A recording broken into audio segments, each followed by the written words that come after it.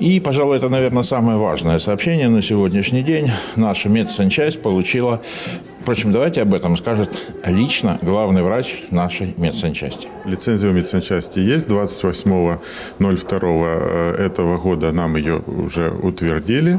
То есть, в принципе, сейчас мы э, имеем э, полную лицензию на медицинскую практику со всеми перечисленными специальностями.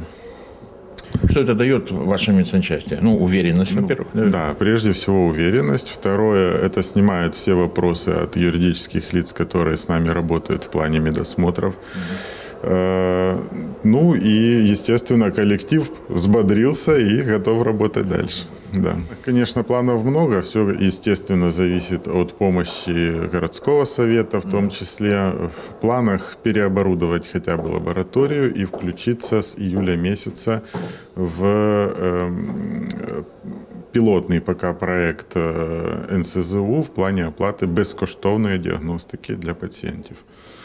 Вот это вот такой очень большой план, амбициозный, но я думаю, что с помощью местной рады, депутатов мы все сделаем.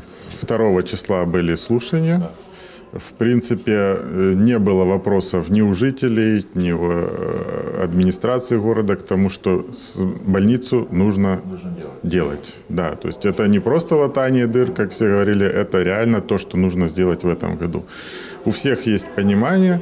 Естественно, э, упирается все в механизм распределения этих денег. И я думаю, что если это все сложится так, как нужно, то уже к концу или к осени мы начнем реконструкцию так, как планировали. Ну, это планы, но, естественно, нужно к этому стремиться.